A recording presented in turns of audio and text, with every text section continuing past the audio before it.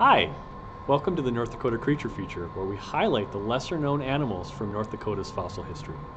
Today, we're going to be talking about an Oligocene alligator. Now extinct in the northern latitudes, except for those found in zoos, crocodiles and alligators were once abundant in North Dakota.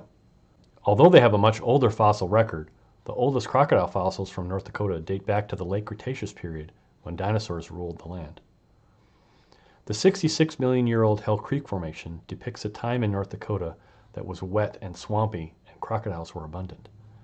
When the dinosaurs went extinct at the end of the Cretaceous, the environment stayed more or less the same. Western North Dakota was still covered in swamps that crocodiles favor, but now with the absence of dinosaurs, crocodiles are the dominant predators. Over the next 10 to 20 million years, western North Dakota began to dry out. During this time of drying, crocodiles disappeared from North Dakota and were replaced by alligators. By 30 million years ago, during the Oligocene epoch, North Dakota resembled today's African savanna, rivers and streams cutting through a much drier but still partially forested plain. In rocks of the Oligocene Brule Formation, the NDGS has uncovered fossils of an alligator. Given the fact that crocodiles and alligators have been so commonly found in other, older rock formations in North Dakota, this might not seem odd, but in this case it is.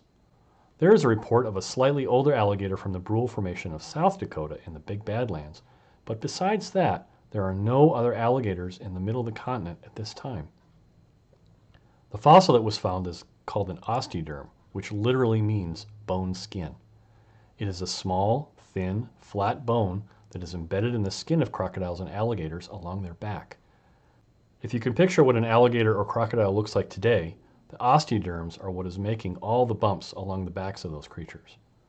Other animals in the fossil record also have osteoderms, but the ones that come from alligators and crocodiles don't look like any of those. Theirs are thin, flat, and have holes all along the top, making the bone look almost like Swiss cheese. In addition to the osteoderms from these alligators, we also have a partial skeleton from one of them. We have bones from the limbs as well as other bones from the body, but so far we haven't found any teeth.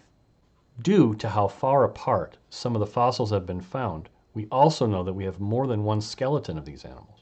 It is odd that these animals are so rare at this time in the fossil record, but we have several skeletons here in North Dakota. This is one of the reasons these fossils are so important, not only to North Dakota, but to vertebrate paleontology in general.